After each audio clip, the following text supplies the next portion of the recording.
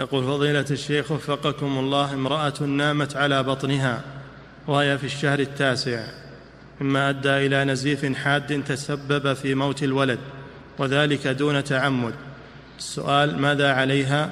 علما بأن الأطباء قد قالوا إن سبب موت الجنين هو نومك على بطنك. إذا تحقق هذا وقرر الأطباء أن سبب موت الجنين نوم على بطنه فعليها الكفارة. لأن هذا تسبب في قتله.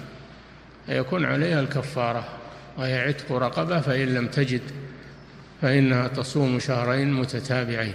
نعم.